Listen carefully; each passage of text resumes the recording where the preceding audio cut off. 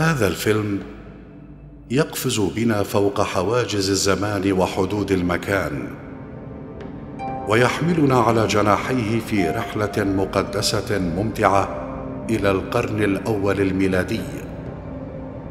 ليروي لنا حياة رجل نشأ متعصبا لعقيدته وديانته إلى حد اضطهاد من يخالفونه فيها.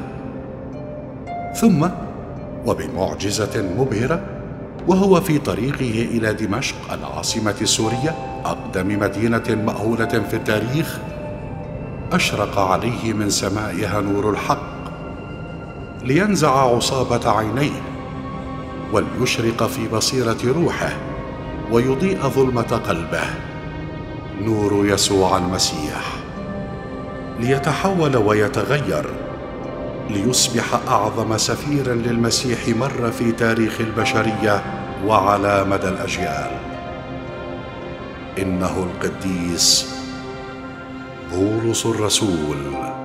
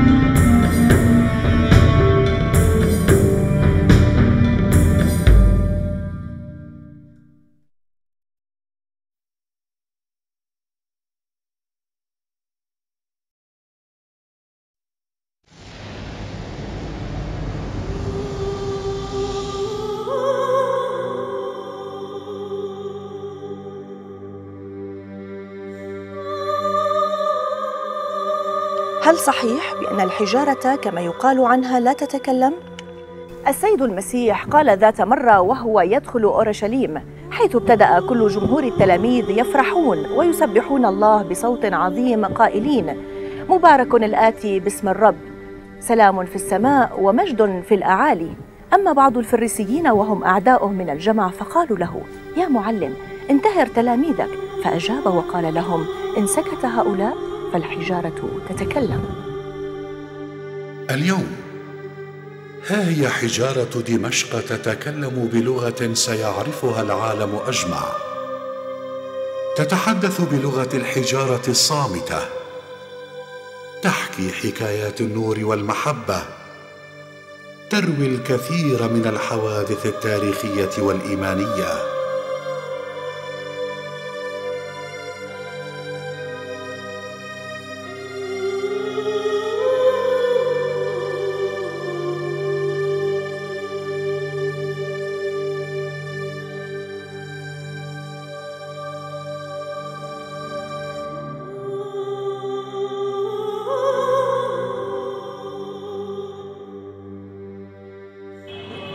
دمشق. هنا جذوري هنا قلبي. ترنيمتي سلامي. أليس في كتب التاريخ سلام وأفراح؟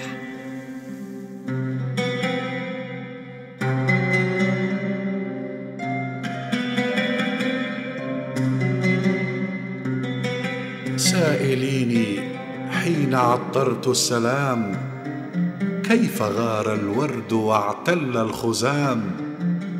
ظمئ الشرق فيا شام اسكبي واملأ الكأس له حتى الجمام.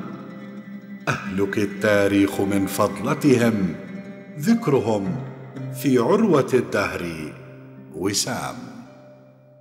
من أين سأبدأ؟ من بساتينها الغناء الخضراء المثمرة التي تلفها من رائحة الزيزفون وأشجار الزيتون. أم من جبل قاسيون؟ أتأمل سماءها. يا من ظهرت بكل مجدك فيها. هنا في هذا المكان تل كوكب حدثت معجزة مواجهة. غيرت حياة وقلب شاول. من هو شاول هذا؟ شاول؟ هذا هو اسمه العبراني. ولد حوالي السنة العاشرة للميلاد من أبوين يهوديين في مدينة طرسوس بولاية كيليكيا التي تتمتع بالامتيازات الرومانية آنذاك. وهي الآن مدينة في تركيا وتحتفظ باسمها طرسوس أو طوروس. شاول بطبيعة ميلاده هذه كان يتمتع بالامتيازات الرومانية لذلك وصف نفسه ذات مرة بأنه روماني ولكنه نشأ وتربى في أورشليم وهو من سبط بنيامين الذي يعتبر من أكثر المذاهب اليهودية تشددا وتمسكا بأحكام الشريعة وهو المذهب الفريسي. وقد تعلم الشريعة على يدي جملائيل وهو من كبار العلماء وأحد أعضاء أعلى سلطة دينية عند اليهود وهو مجمع سنهندريم هل فهمتم الدرس؟ لقد فهمنا يا معلم. من منكم لديه استفسار؟ أنا أيها المعلم جملائيل. تفضل يا شاول ما هو سؤالك؟ أين سيولد المسيح ملك اليهود؟ في بيت لحم. لأنه من سبط يهوذا ونسل الملك داود أيها المعلم عندما سيأتي هل سيجعلنا أسيادا على الأرض؟ طبعا لأنه سيبيد كل الأمم وسنمتلك الأرض والسماء أولسنا نحن شعب الله المختار؟ تخيلوا أنكم ستكونون أسياد العالم صلوا إذا ليستجيب الله ويرسل المسيح المخلص ملك اليهود. ترعرع شاول هذا ونما متعصبا متشددا لعقيدته هذه. لذلك حارب المسيحية الناشئة بضراوة وقسوة باعتبارها في نظره انحرافا وضلالا فكثف جهوده على مقاومتها واضطهاد أتباعها وقتلهم وتشريدهم في محاولة القضاء على هذا الضلال عن دين إبراهيم وموسى والأنبياء حسب زعمه مع سائر القيادات الدينية اليهودية. وقد اعترف شاول فيما بعد باضطهاده لكنيسة المسيح بنفسه. لذلك أيها الملك أجرباس ارتأيت في نفسي أنه ينبغي أن أصنع أمورا كثيرة مضادة لاسم يسوع الناصري. أيها الوالي فيستوس كان يمكن أن يطلق سراح هذا الإنسان لو لم يكن قد رفع دعواه إلى قيصر. وماذا صنعت؟ حبست في السجون الكثير من القديسين. اخذا السلطان من رؤساء الكهنه وفي كل المجامع كنت أعاقبهم مرارا وتكرارا حتى اضطرهم إلى التجديف. وإذا أفرط حنقي عليهم كنت أطردهم إلى المدن التي في الخارج. يسوع الناصري كان على الأرض قائما بإرساليته الإلهية عندما كان شاول شابا. وتعاليم يسوع كانت تنتشر في كل المنطقة وكلماته كلمات الحق تعارض الرياء والتعاليم المضللة. وعلاوة على ذلك كان الناس عامة متأثرين بمعجزات وخدمة المسيح ونتيجة لذلك بدأوا في اتباعه. وأصبح الموقف أصعب بصلب المسيح وقيامته فلم يكن من الممكن إخفاء أخبار قيامته وصعوده إلى السماء. فقد كان هناك شهود كثيرون جدا. لذلك كثف القادة الدينيون جهودهم للقضاء على هذه المشكلة المزعجة حسب تعبيرهم.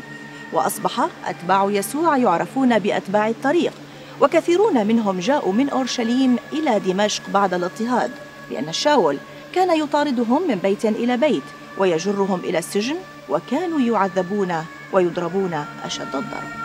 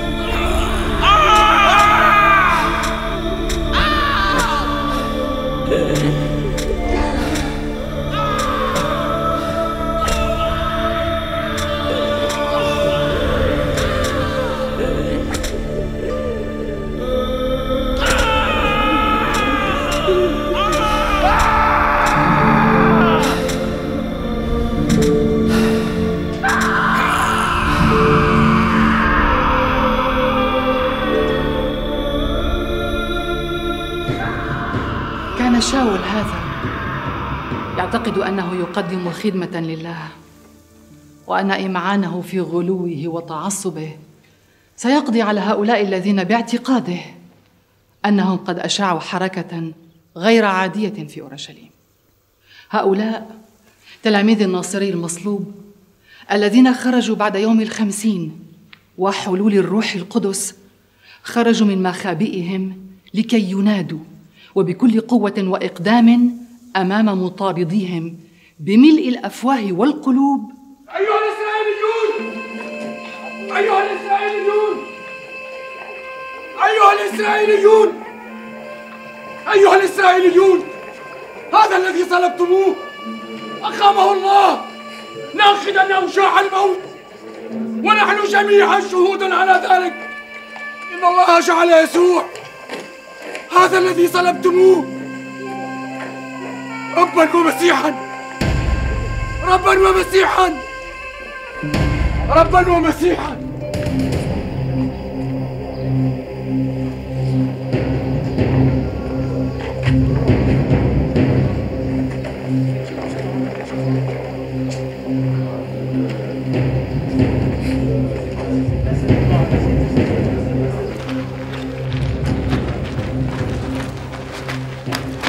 شاول كنت أبحث عنك. إنه ستيفانوس وأتباع يسوع الناصري كانوا يتكلمون كلام تجديف على موسى وعلى الله. وإن يسوع الناصري هذا سوف ينقض الهيكل ويغير العادات التي أعطانا إياها موسى.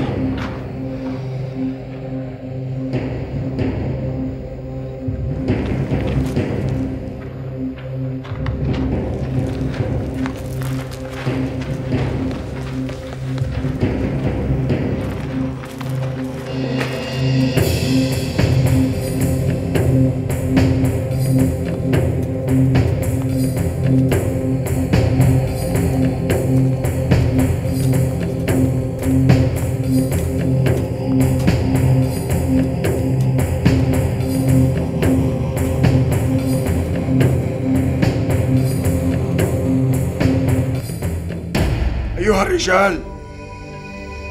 أيها الأخوة. أيها الآباء. اسمعوا. ظهر إله المجد لأبينا إبراهيم وهو فيما بين النهرين وقال له أخرج من بيتك وعشيرتك. فخرج حينئذ من أرض الكلدانيين وسكن في أرض حاران.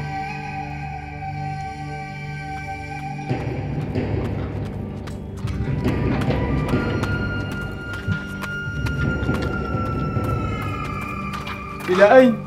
ألا تريد أن تستمع إلى ستيفانوس؟ كنت أستمع إليه الآن. إنه يريد أن يعطينا درسا في الأخلاق والشريعة. عن إذنك. أريد أن أذهب إلى عملي.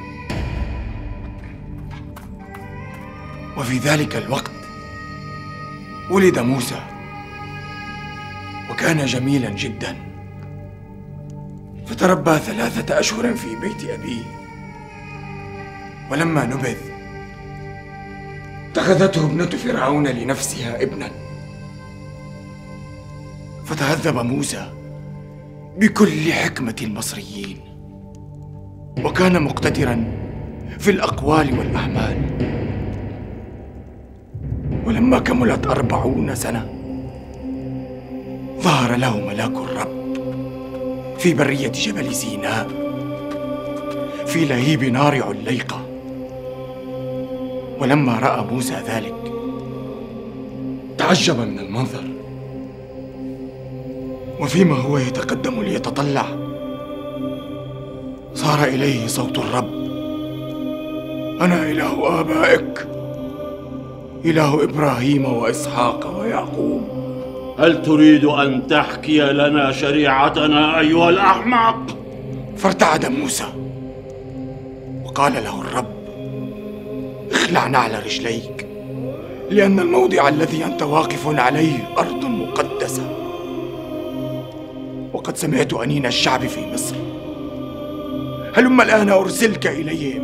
هذا هو موسى الذي ينكروه قائلين. من أقامك قاضيا ورئيسا. هذا أرسله الله رئيسا. هذا أرسله الله رئيسا.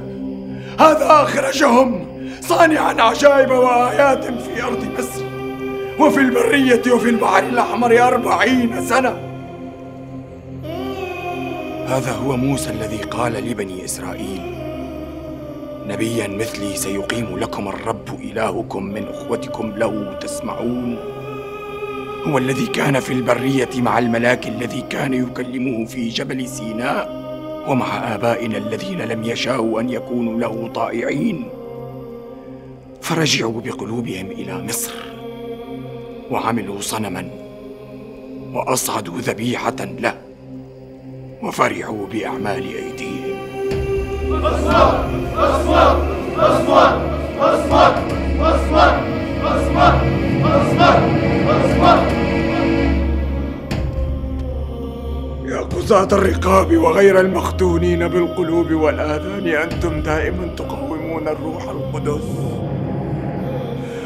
كما كان آباؤكم. كذلك أنتم. اسكتوا! اسكتوه واخرجوه من هنا. إنه يجدف. إنه ينقض شريعة موسى. اسكتوه أخرجوه! أي الأنبياء لم يضطهدوا آباؤكم؟ وقد قتلوا الذين سبقوا فأنبأوا بمجيء البار الذي أنتم صرتم مسلميه وقاتليه وقد أخذتم الناموس ولم تحفظوه. وقد أخذتم الناموس ولم تحفظوه. تحفظوه. فليرجم فليرجم فليرجم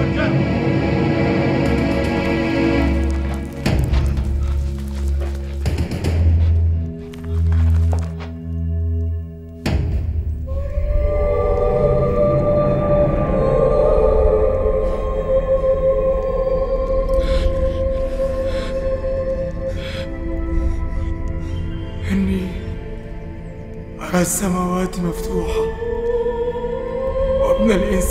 دائما عن يمين الله.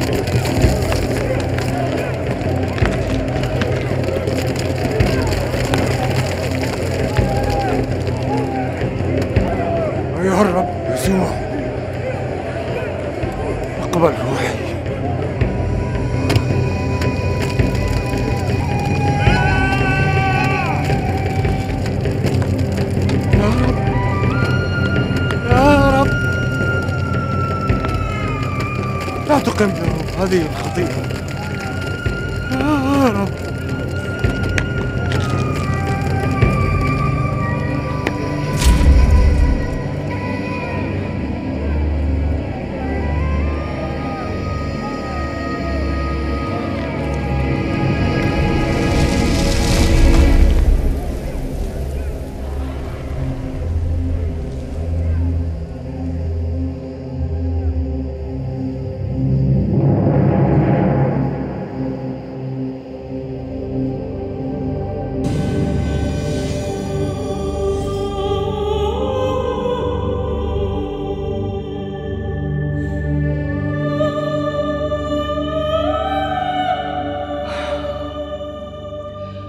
لم يكن هذا ليكبح غضب شاول. حتى بعد رجم القديس استيفانوس رئيس الشمامسة شهيد المسيحية الأول. هاك يا شاول. لقد كتبنا تفويضات إليك كما أردت لكي توصلها إلى القادة في دمشق كي يساعدوك في القبض على أتباع يسوع الناصري.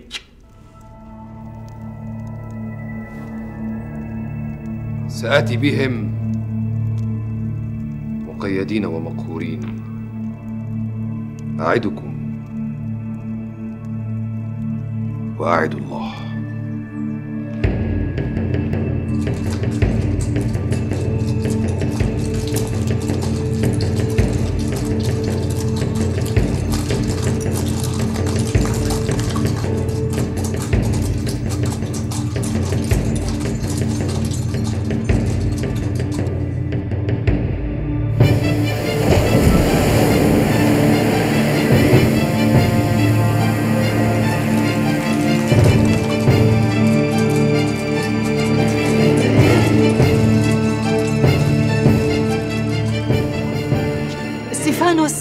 الذي جر من باب دمشق في أورشليم إلى خارج المدينة.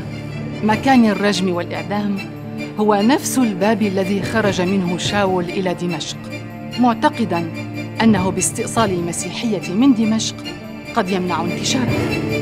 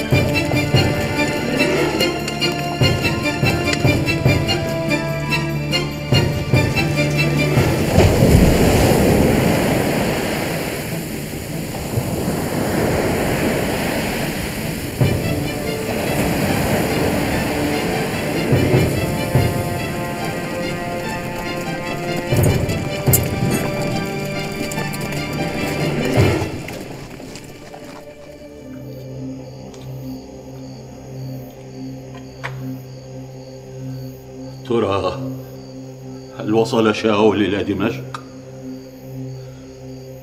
كم أتمنى أن تطوى مسافات الأرض تحت أقدام فرسه ليصل إليهم ويقبض عليهم ويعود بهم إليه لنسومهم أشد صنوف العذاب. كم أتمنى ذلك؟ كم أتمنى ذلك؟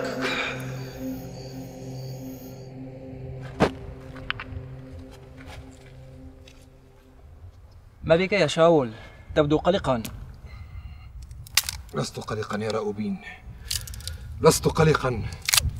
وإنما أفكر وأصلي إلى الله كي تطوى الأرض لأصل إلى دمشق وأقبض على أتباع ذلك الناصري وأعذبهم عذابا شديدا.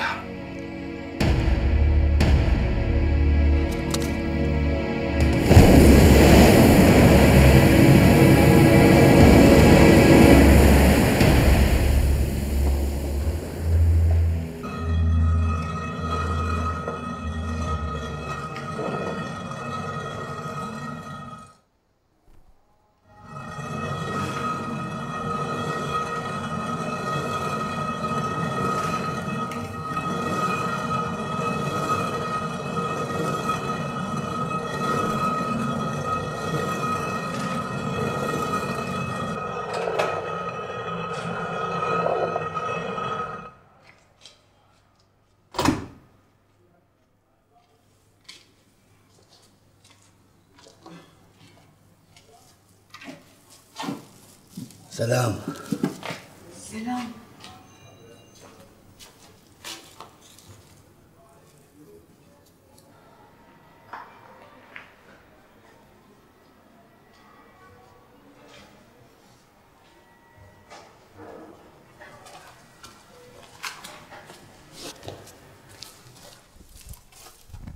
ما بالك يا يعوزة يبدو عليك القلق. لا أدري ماذا أقول لك يا أستير. لا أدري.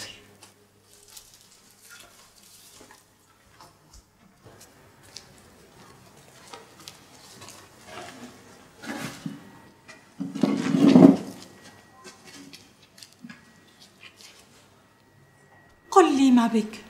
ماذا تخفي عني؟ لقد علمت أن شاول الطرسوسي. الذي اضطهد وعذب وسجن وقهر الكثيرين من أخوتنا في أورشليم. والآن في طريقه إلى دمشق ليلقي القبض عليهم هنا. لا تخف إن الرب معهم ومعنا يسمع ويرى.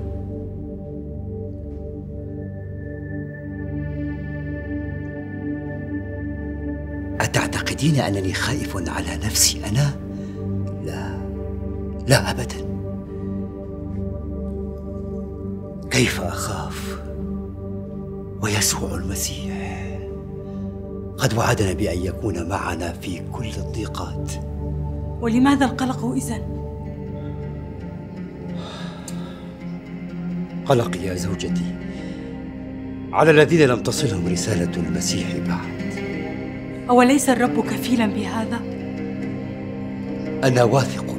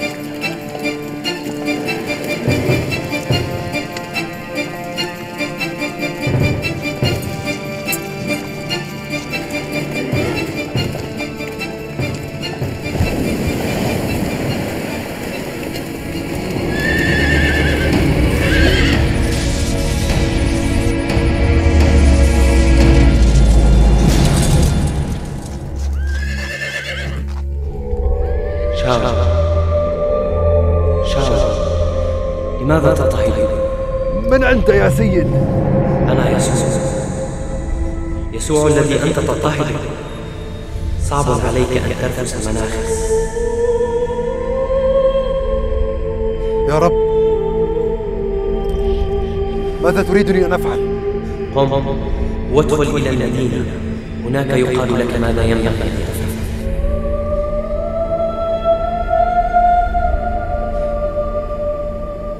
مع من كان يتكلم شاول؟ هل سمعت ما سمعته أنا؟ لا أعرف لم أسمع إلا صوت شاول ولم أرى غير النور الذي كان أمامه النور الآتي من السماء ألعله كان يتكلم مع ملاك؟ هل الله ظهر له؟ المجد لك يا رب. المجد لله. المجد لله.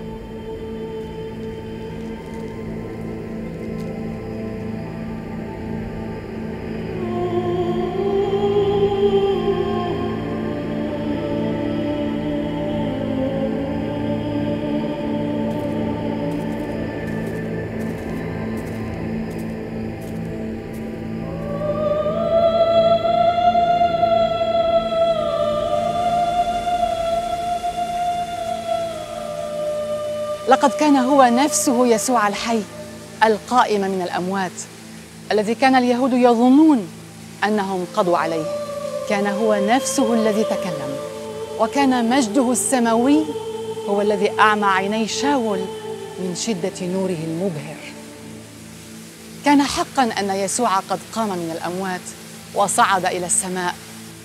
في مركز هذا الاختبار العجيب نجد المسيح يسوع.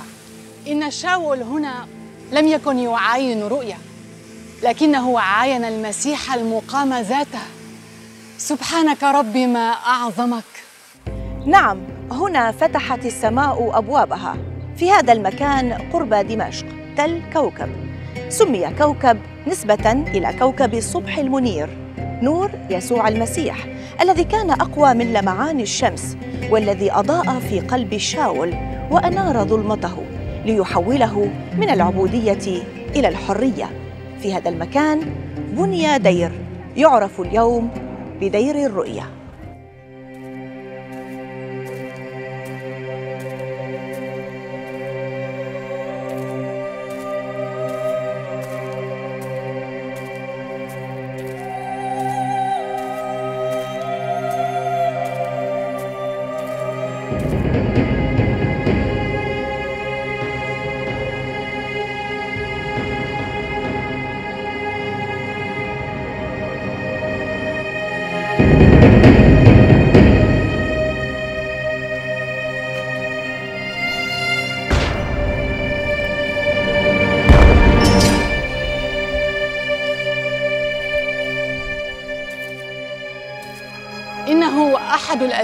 الأزقة في دمشق الذي يقال له المستقيم.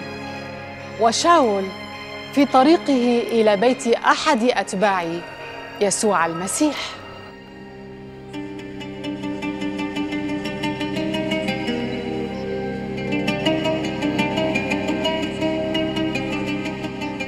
الزقاق المستقيم أو الشارع المستقيم يعرف اليوم في مدينة دمشق بسوق مدحت باشا.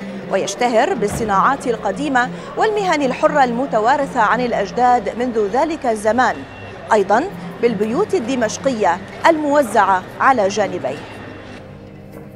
نعم في إحدى هذه البيوت المنتشرة في أزقة الشارع المستقيم يقع بيت يهوذا أحد أتباع الحق والطريق يسوع المسيح.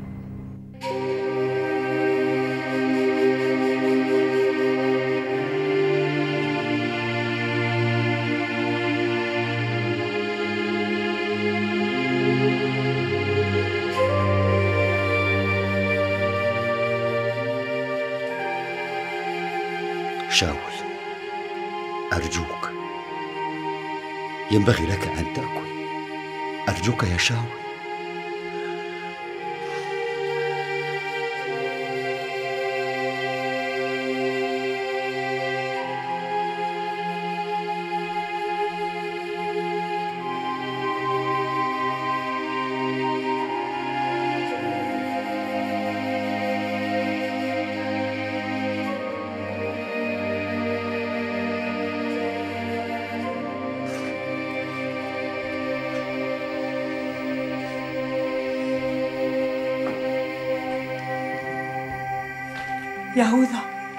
عليك أن تحاول معه مرة أخرى.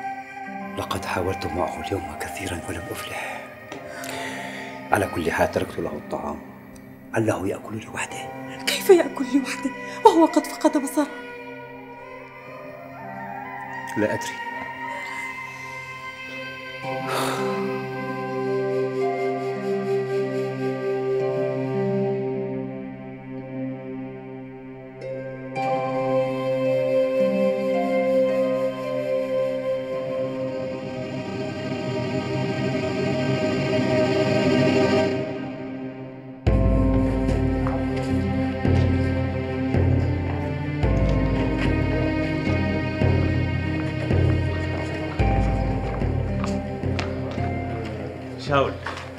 بنيامين شاول أين كنت؟ منذ أيام وأنا أبحث عنك كنت في الجليل الجليل؟ وماذا تفعل في الجليل؟ كنت أستمع إلى يسوع الناصري ليتك كنت معي يا شاول يسوع الناصري أتريدني أن أذهب إلى الجليل كي أستمع إلى هذا النجار الدجال الذي يدعي أنه المسيح؟ دجال؟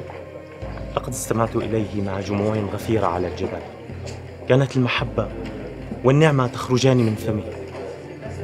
كان يتكلم بسلطان كلمات لم نسمع بها من قبل. ما أروعها؟ ما أروعها؟ أحسنوا إلى مبغضيكم. باركوا لاعنيكم أحبوا أعداءكم. وصلوا لأجل الذين يسيئون إليكم. أنتم ملح الأرض. أنتم نور العالم. لو سمعته يا شاول لغيرت رأيك. أغير رأيي. هل أنت مجنون؟ أمصدق أنت أنه المسيح المخلص؟ عد لرشدك يا بنيامين. المسيح المخلص.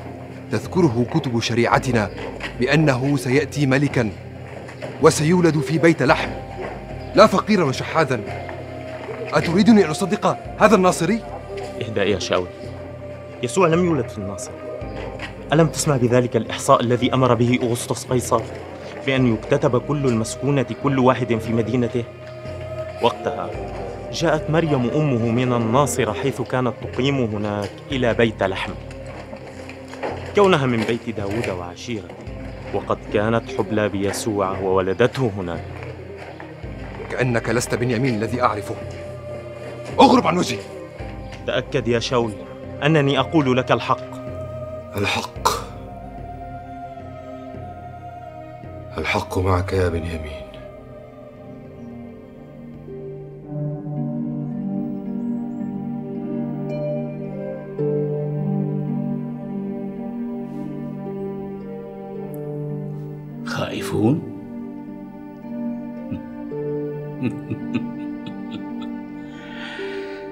ولماذا أنتم خائفون يا قليلي الإيمان؟ ألم يعدنا يسوع المسيح أنه سيكون معنا في الضيقات؟ كيف لا نخاف ايها الأخ المبارك؟ وقد اضطهدنا في أورشليم فهربنا منها. وقد سمعنا بأنه قادم لدمشق لاعتقالنا. أتشكون في إلهكم الحي؟ ألم يوصينا يسوع المسيح بأن نحب أعداءنا ونصلي من أجلهم؟ دعونا نصلي الآن من أجل كل مبغضينا ومضطهدينا وخصوصا خصوصا من أجل شاول وكم وكم صليت لأجله فالصلاة يا أولادي مقتدرة بفعلها. وهو يسمع ويستجيب.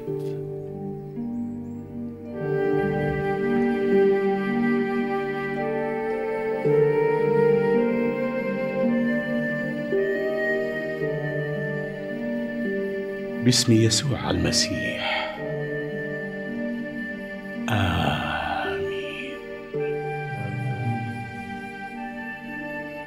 والآن لقد تأخر الوقت يا أولادي. غدا. سأكون بانتظاركم. كونوا على ثقة بإلهكم الحي.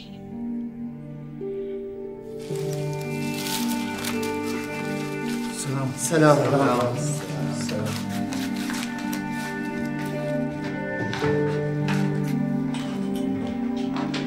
برعاية الرب. برعاية الرب.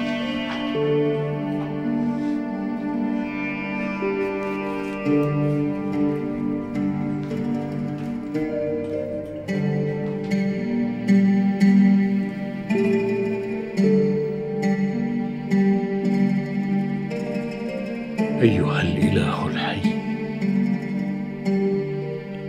اجعل لقساة القلوب الحجرية قلوبا حية تنبض باسمك. من هذا الذي يصلي؟ وأين يصلي؟ ولمن يصلي؟ يا رب كل شيء مستطاع عندك. احمي أولادك. واحفظ رعيتك يا رب.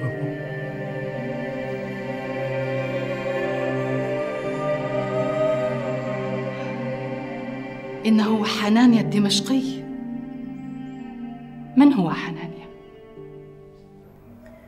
إنه دمشقي من أصل يهودي. كان قد آمن بالمسيح وأصبح مسيحيا وكان له شهرة وتقدير عظيمان في كنيسة دمشق الفتية. وأنه قدم إلى دمشق بعد رجم القديس استفانوس شهيد المسيحية الأول. أما هذا المكان الذي كان يصلي فيه فهو بيته ويقع في القسم الشرقي من مدينة دمشق القديمة وهو بيت تحت الأرض. ينزل إليه بإحدى وعشرين درجة من باب ضيق مثلث الشكل يدخله النور من أعلى من نافذتين مدورتين. هذه الكنيسة يمكن مشاهدتها خلال دخولك من الباب الشرقي لمدينة دمشق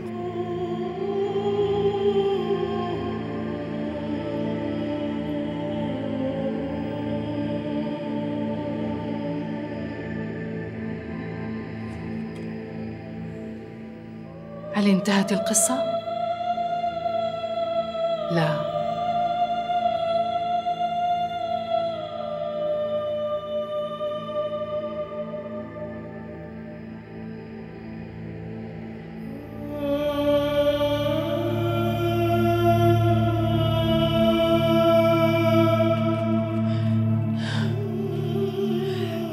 ثلاثة أيام لم يشرب ولم يأكل شيئا. إنني حائر يا إستير. لا أدري ماذا سأفعل. يجب أن نستدعي له طبيبا. طبيبه هو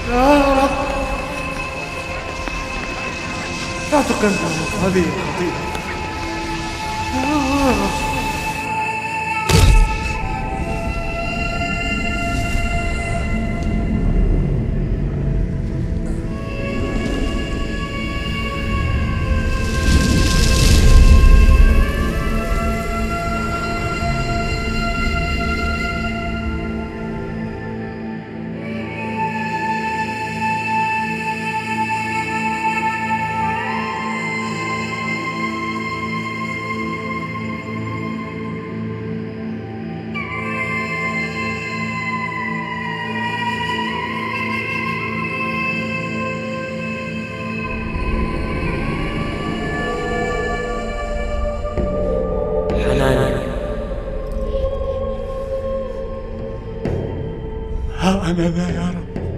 قم. واذهب إلى الزقاق الذي يقال له المستقيم.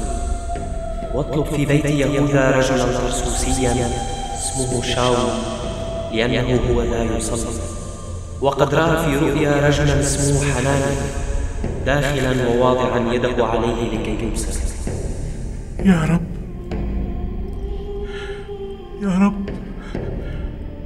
قد سمعت من كثيرين عن هذا الرجل. كم وكم كم وكم من الشرور قد فعل بقديسيك في أورشليم.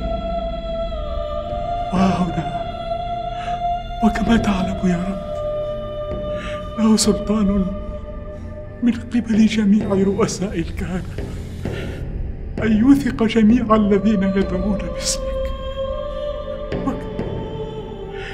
كم صليت لأجله يا رب؟ اذهب يا حنان لأن هذا لي إناء مختار.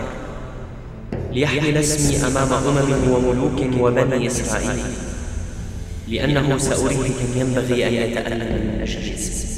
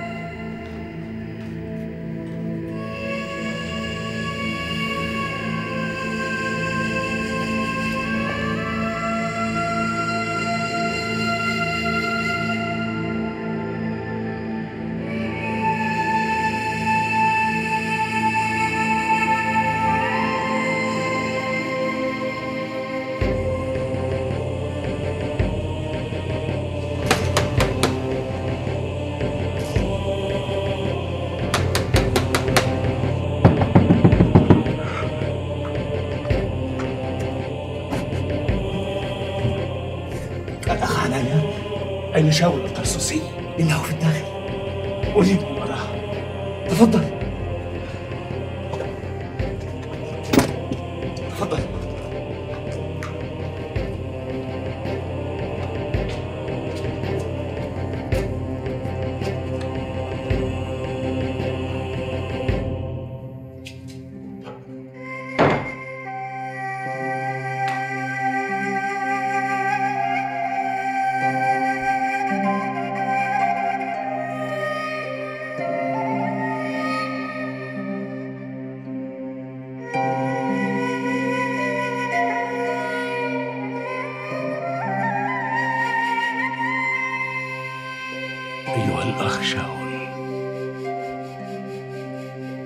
لقد أرسلني الرب يسوع.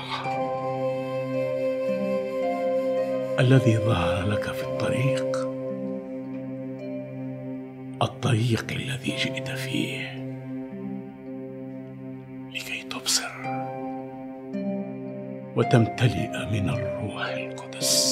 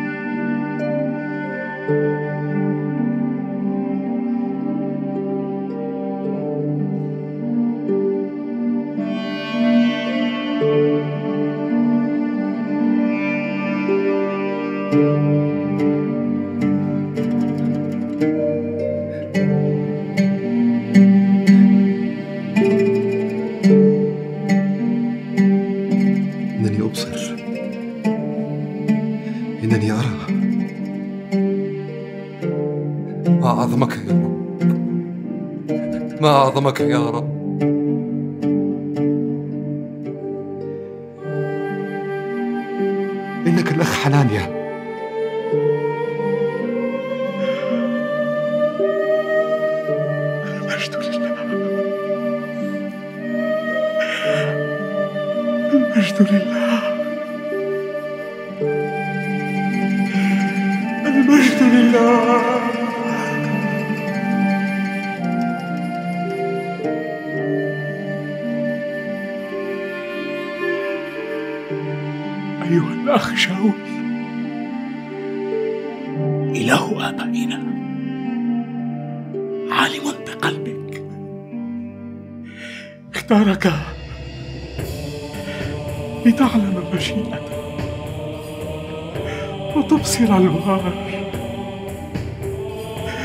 وتسمع صوتا من فم لتكون له شاهدا شاهدا لجميع الناس. بما رأيت وسمعت. والآن لماذا تتوانى؟ قم. قم. قم واعتمد. باسم الرب قم. آمنت بك أيها الإله الحي. ربي وسيدي ومخلصي. شاول.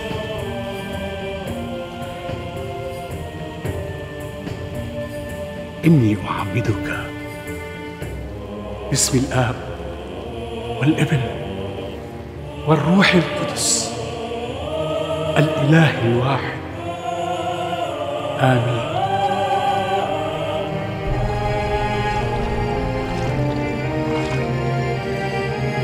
ما أعظمك أيها الإله الحي.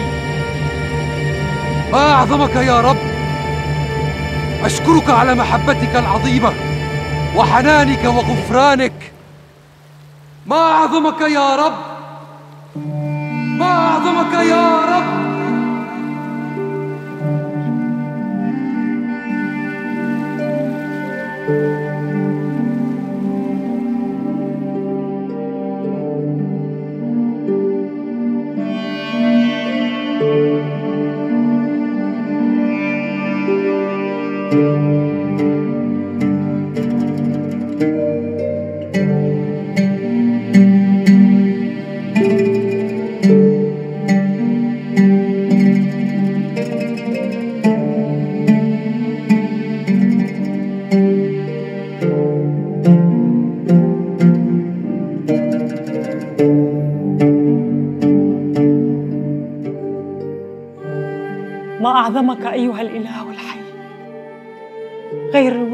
عند الناس.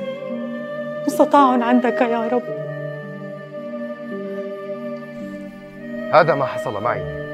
لقد عرفت الطريق. كان لي عيون لم أبصر بها وأذنان لم أسمع بهما وقلب من دون بصيرة. أما الآن فإني أبصر وأسمع وقلبي أناره يسوع بمحبته ورحمته العظيمة. إنكم تنتظرون مجيء المسيح ملك اليهود. المسيح الذي تنتظرونه قد أتى هو الذي رفضتموه وأنكرتموه وصلبتموه ماذا حل بشاول؟ أليس هو نفسه الذي أنكره واضطهد أتباعه؟ إنه بهذا الكلام ينقض شريعتنا إلى متى ستنتظرون المسيح المخلص؟ هذا هو الذي تحدث عنه موسى والأنبياء فتشوا الكتب والنبوءات إنها تشهد له. سبحانك ربي تغير ولا تتغير. إنه شاول المضطهد لكنيسة المسيح الذي تحول قديسا على مشارف دمشق الشام. نراه اليوم رسولا وديعا محبا ممتلئا قوة وسلامه يا له من تغير مذهل لقد أحدثت كلمات يسوع المسيح ثورة في حياته. فماذا قال له؟ أنا ظهرت لك لكي أجعلك خادما وشاهدا بما رأيت منقذا إياك من الشعب ومن الأمم الذين أنا الآن أرسلك إليهم. لتفتح عيونهم كي يرجعوا من الظلمة إلى النور ومن سلطان الشيطان إلى الله. حتى ينالوا بالإيمان بي غفران الخطايا ونصيبا مع المقدسين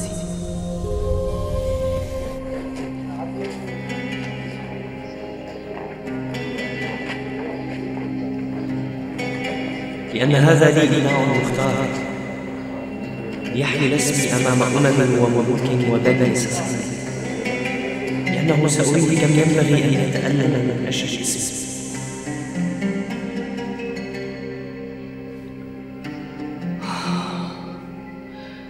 نعم. إنها أول الآلام. فالمسيحية لا تتضمن بركات عظيمة فقط بل آلاما أيضا. ولما تمت أيام كثيرة تشاور اليهود ليقتلوه. علينا أن نقتله. دعوا للملك أريتاس يأمر بقتله. علينا رفع أمره إلى الوالي الحارث. وتحريضه على قتله لكي نكون بريئين من دمه أمام الناس. أحسنت هيا بنا. ومتى حصل هذا الأمر؟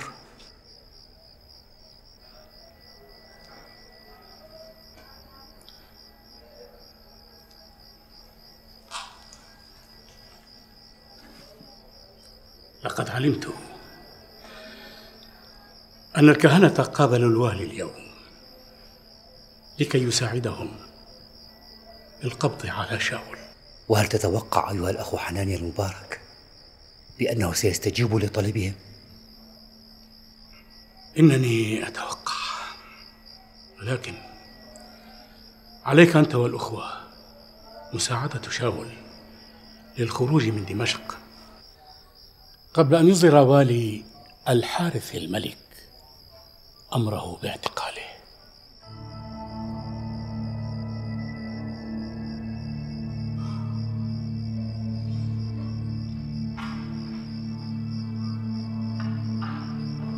اسمع يا قائد الفرسان. أريدك أن تشدد الحراسة على أبواب المدينة لتلقوا القبض على هذا الذي اسمه آه، شاول قبل أن يهرب. أمركم مولاي سنوزع الحراس على الأبواب السبعة.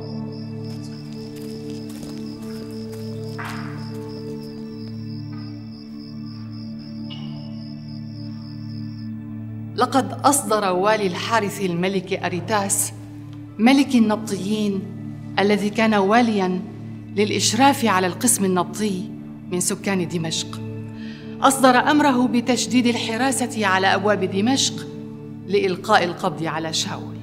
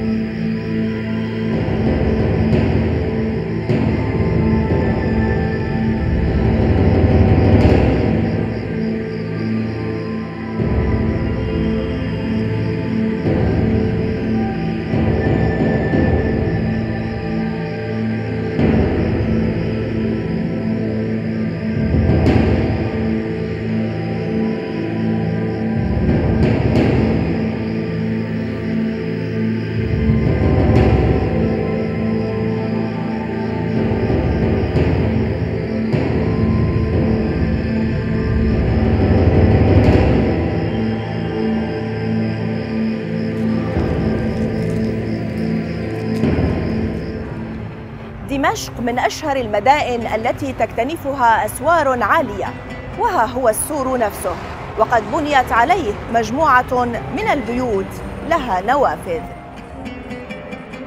ها هو باب كيسان وفوقه النافذة ذاتها التي هرب منها شاول والتي ما زالت شاهدا على ذلك الحدث عبر كل العصور.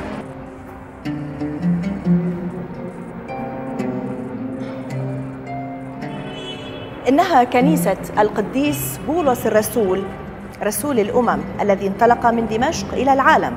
بنيت هذه الكنيسة في عام 1925 على سور دمشق وفي باب كيسان.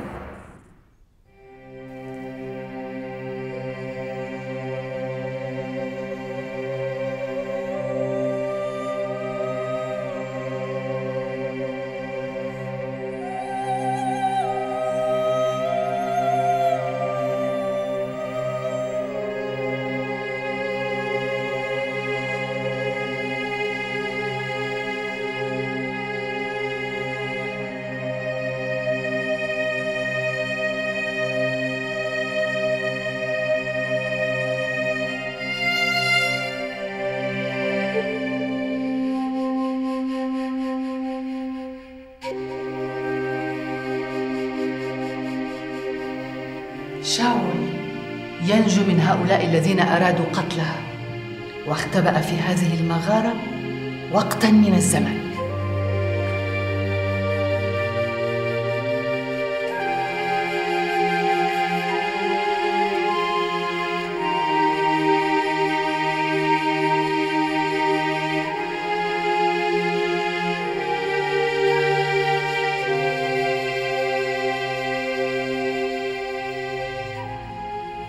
المغارة نفسها اليوم ما زالت شاهدا حيا ناطقا. إنها تحكي قصة شاول القديس بولس الرسول رسول الأمم من دمشق إلى العالم. وقد بني فوق هذه المغارة دير يعرف بدير القديس بولس الرسول.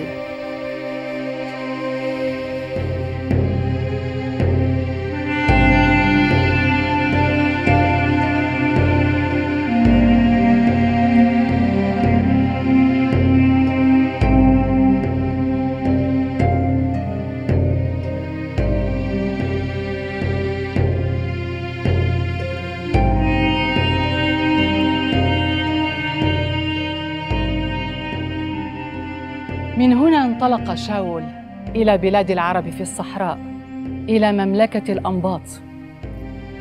وبقي فيها حوالي سنتين ونصف حتى يهدأ رؤساء اليهود ولكي يقضي وقتا منفردا مع الله. بلاد العرب تعرف اليوم ببصر الشام أو حوران وتقع جنوب شرق دمشق. لقد التجأ شاول بولس إلى هذه القرية فانا والتي تدعى اليوم المسمية. كونها كانت أكبر حامية رومانية آنذاك. وقد أمضى معظم أوقاته يقرأ ويتأمل ويصلي. ويقال بأنه أول من أخبر عن المسيح العرب في بلاد العرب.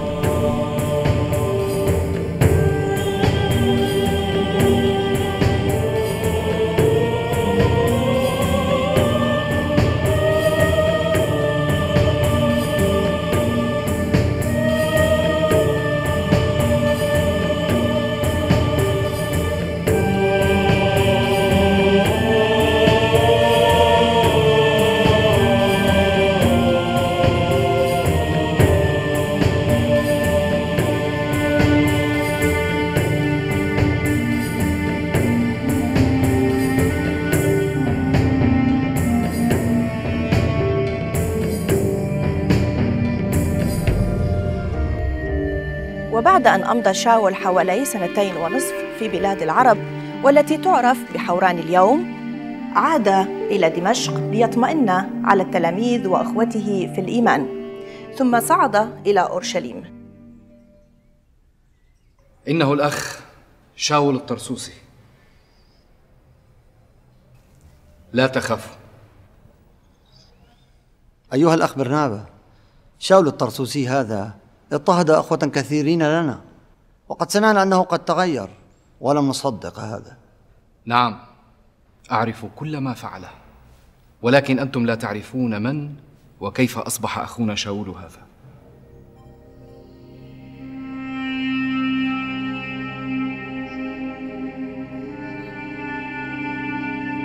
أيها الأخوة أنا أعترف بخطاياي وكل ما فعلته كان إرضاء لله حسب معتقداتي إلى أن ظهر لي الرب يسوع وأنا في طريقي إلى دمشق. ظهر لك؟ وكيف ظهر لك؟ سيروي لكم قصته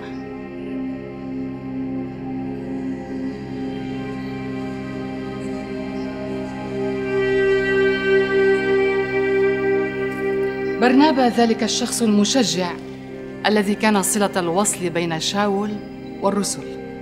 برنابا اسمه يدل على فعله ابن التشجيع.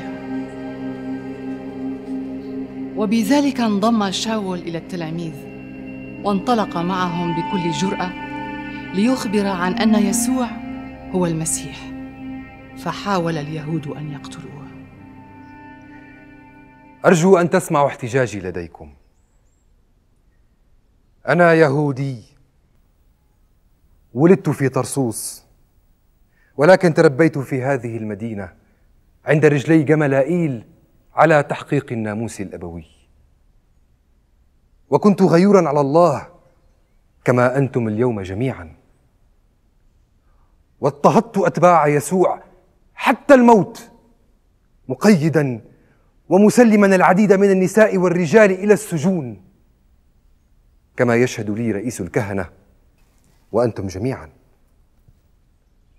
وأخذت منهم رسائل إلى الإخوة في دمشق وذهبت لآتي بهم من هناك إلى أورشليم مقيدين لكي يعاقبوا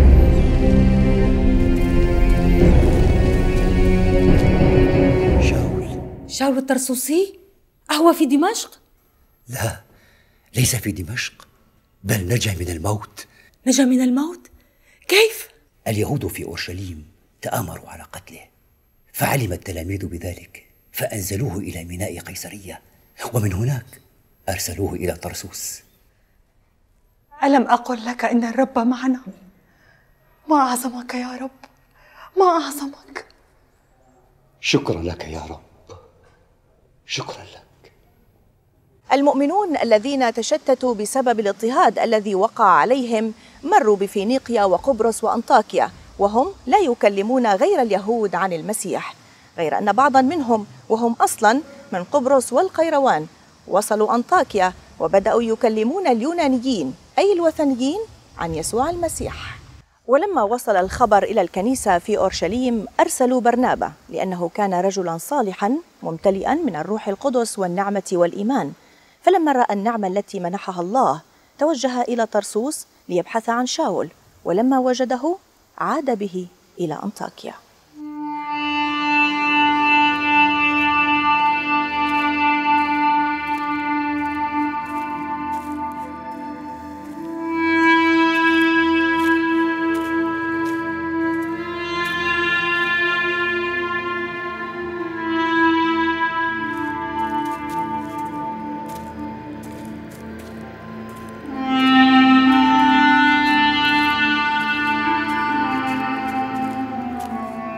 وإذ كنت لا أبصر من أجل بهاء ذلك النور اقتادني الذين كانوا معي بيدي فجئت إلى دمشق.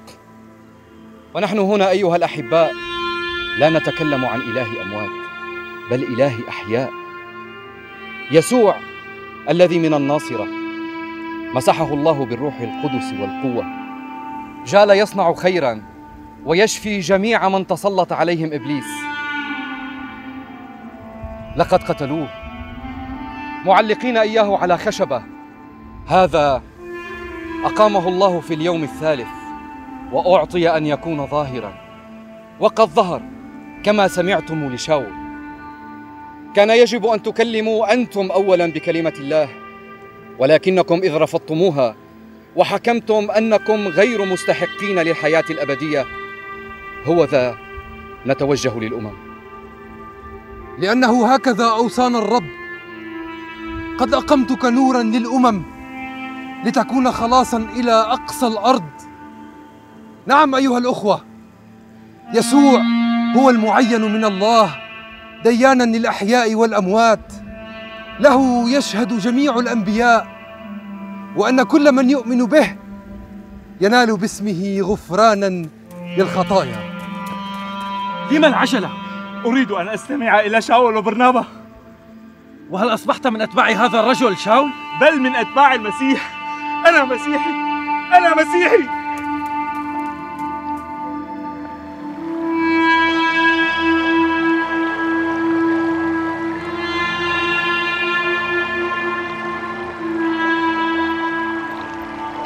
نعم في سوريا. أطلق على أتباع المسيح. مسيحيين لأول مرة. أيها الأخ برنابا إني أريد أن أعتمد أريد أن أعتمد إني أؤمن بالمسيح يسوع سيدي ومخلصي وربي.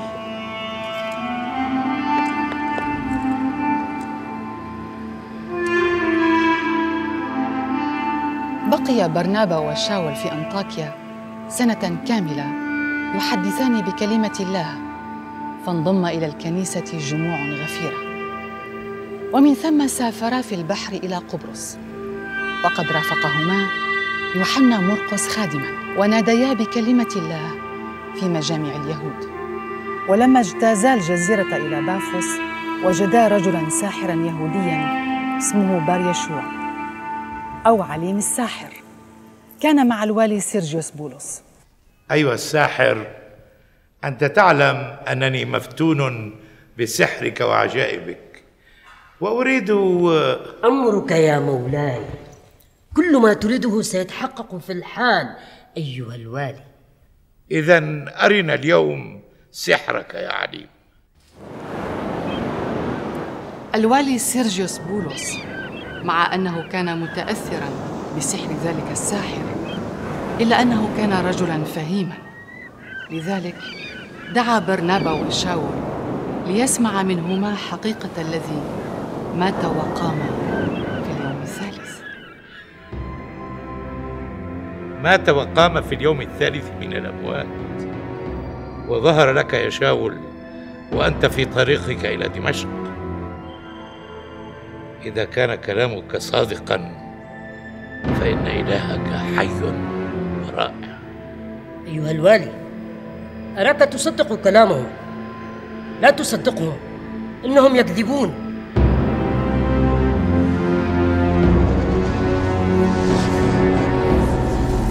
أيها الممتلئ كل الغش والخبث. يا ابن إبليس يا عدو كل بر. ألا تزال تفسد سبل الله المستقيمة هو ذا الآن يد الرب عليك. فتكون أعمى لا تبصر الشمس إلى حين. لا. لا لا. لا لا.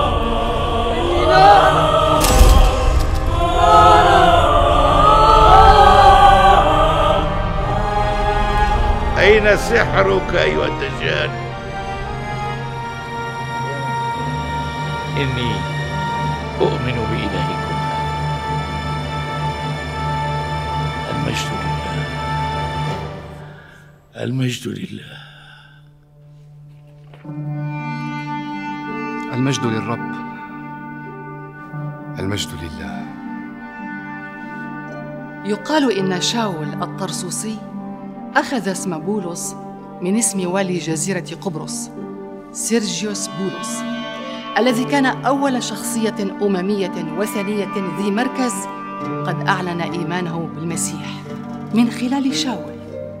لقد أصبح شاول هذا بولس مكرسا كل حياته للأخبار السارة بإنجيل المسيح. من هنا بدأنا. ومن هنا انطلقنا من دمشق من تلك الصخرة الراسخة الثابتة المبنية من حجارة نطقت وروت وتكلمت الكثير من الحوادث الإيمانية الصادقة حيث مشى الرسول بولس على أرضها وبذر في ترابها بذرة الإنجيل فنمت وكبرت شجرة وارفة الظلال يتفيأ العالم كله بظلها. هذه هي دمشق. التي سطعت في سمائها. شمس البر والشفاء في أجنحتها. نور الحق. يسوع الناصري. ليتقابل مع ذلك المضطهد شاول وليغير حياته ويحوله إلى القديس بولس الرسول. رسول الأمم يحمل رسالة المحبة والسلام والخلاص. إن كنت أتكلم بألسنة الناس والملائكة ولكن ليس لي محبة. فقد صرت نحاسا يطن أو صنجا يرن. وإن كانت لي نبوة وأعلم جميع الأسرار وكل علم. وإن كان لي كل الإيمان لأنقل الجبال ولكن ليس لي محبة فلست شيئا.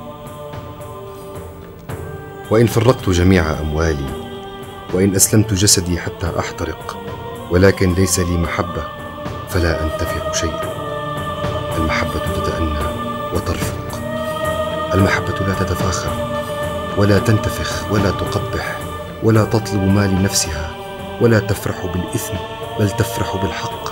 تحتمل كل شيء تصبر على كل شيء. المحبة لا تسقط أبدا. العلم سيبطل لأننا نعلم بعض العلم. ونتنبأ بعض التنبؤ. ولكن متى جاء الكامل فحينئذ يبطل ما هو بعض إننا ننظر الآن في مرآة في لغز لكن حينئذ وجها لوجه. الآن فليثبت الإيمان والرجاء والمحبة واعظمهن المحبة.